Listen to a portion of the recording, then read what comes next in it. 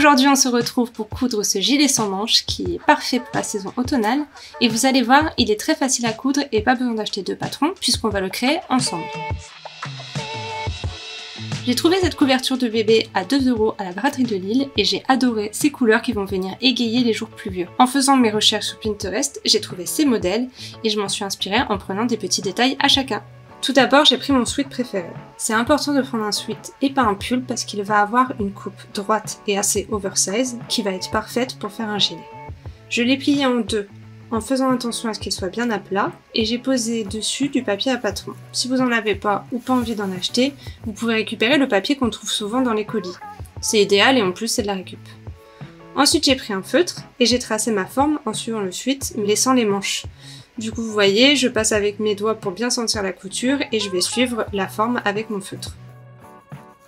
Ici, je veux rajouter 5, euh, à 10 cm et du coup, je remets le sucre par-dessus. Comme ça, je vais pouvoir suivre mes lignes.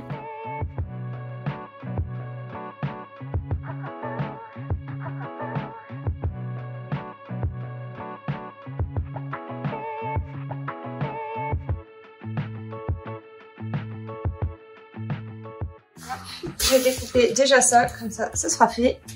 J'ai donc découpé ma première forme qui correspond au dos. D'ailleurs, je vous donne un petit conseil, prenez l'habitude de le noter sur le papier à chaque fois pour ne pas oublier.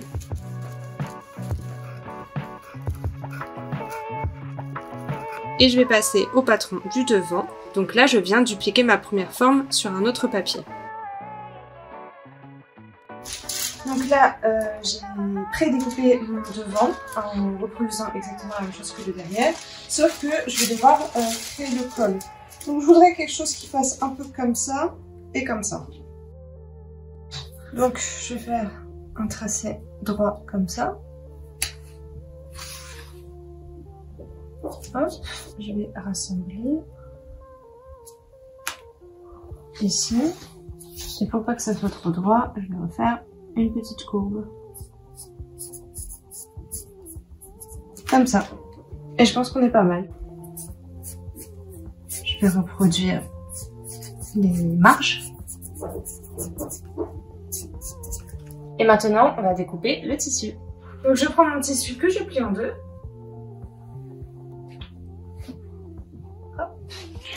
La partie dos doit être sur la pliure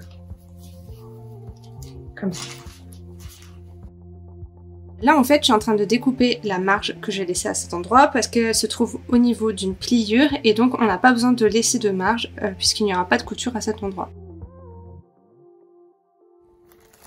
Ensuite, je place mes petits pois sur mon patron et mon tissu pour être sûr que rien ne bouge à la découpe. Et oui, ce sont mes galets de vacances, euh, ne me jugez pas.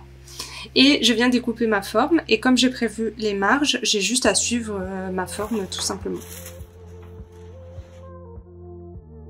Là, j'ai voulu faire une petite feinte sur les côtés. Je vous montre quand même comment je l'ai fait, mais je pense que ça aurait été plus joli de le laisser droit. Vous me direz ce que vous en pensez à la fin, mais je suis pas hyper sûre de moi là-dessus. Ensuite, je reproduis le même procédé pour créer euh, les deux parties du devant, mais cette fois, euh, il ne faut pas mettre le patron au niveau de la pliure puisqu'on veut vraiment obtenir deux parties. Par contre, vous pouvez laisser votre tissu plié en deux, comme ça vous coupez vos deux morceaux d'un seul coup. Si vous avez un tissu avec euh, des motifs comme le mien, faites bien attention à vos raccords. En fait, si vous avez des petits motifs, ça va passer inaperçu, mais là, comme j'ai des bandes larges, si la bande jaune arrive en face de la bande bleue, euh, ça va faire un peu bizarre. Là, j'ai oublié de filmer, je suis un peu déçue, euh, mais il faut refaire en gros la même chose avec un deuxième tissu qui va servir de doublure. Pour la prochaine étape, je m'occupe de faire les deux poches. Donc j'ai découpé deux carrés de 18 cm x 20 cm. Et je mets d'un verre pour faire une petite courbe sur le bas des poches. Et enfin, je sors ma machine à coudre.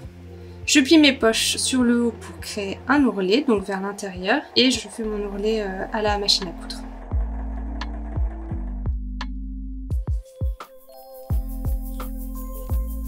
Et ensuite là je pense que c'est euh, l'étape la plus minutieuse. Je vais poser ma poche euh, sur euh, le morceau du devant et je vais rabattre les côtés petit à petit vers l'intérieur en épinglant à chaque fois. Donc je plie vers l'intérieur, j'épingle, je plie vers l'intérieur, j'épingle et ainsi de suite en faisant tout le tour. Et en laissant la partie ourlée pour pouvoir mettre ses mains dedans bien sûr. C'est pas compliqué mais c'est un peu délicat donc vous y aller doucement. Ensuite je fais ma petite couture tout le long en suivant mes épingles à environ 5 mm du bord. Là je suis super contente parce que mes raccords sont vraiment pas trop mal. Je trouve que c'est vraiment ce genre de petits détails qui vont donner un effet professionnel à votre couture. Après j'ai assemblé toutes mes parties, donc euh, je pose le dos et les deux morceaux par-dessus et endroit contre endroit et je viens faire ma couture au niveau des épaules à 1,5-2 cm.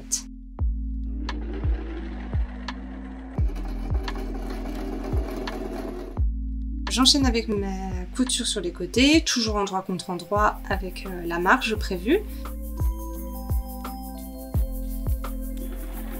Encore une fois, je sais pas ce qui m'a pris avec euh, cette doublure, euh, je l'ai pas filmé, mais il faut reproduire exactement les mêmes étapes avec la doublure. Comme c'est du coton, je suis venue ouvrir mes coutures au fer à repasser. Je pouvais pas le faire avec la couverture, mais quand c'est possible de le faire, il faut, parce que vous voyez la différence sur l'image, c'est quand même beaucoup plus propre. Ensuite, pour assembler le gilet et sa doublure, j'ai un juste à poser toujours endroit contre endroit.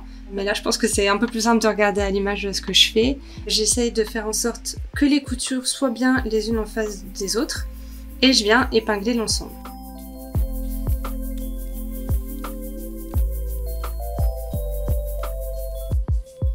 Pour l'instant, je ne touche pas aux manches et je laisse une petite ouverture pour pouvoir le retourner je la fais au niveau du col pour pas que ça se voit et je laisse environ 10 cm parce que c'est quand même assez épais donc il faut que je puisse le retourner.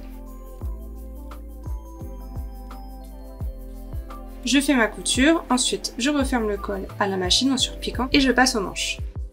Là tout simplement je vais venir euh, plier les tissus vers l'intérieur et je vais épingler et je vais faire la couture sur toute l'ouverture de la manche.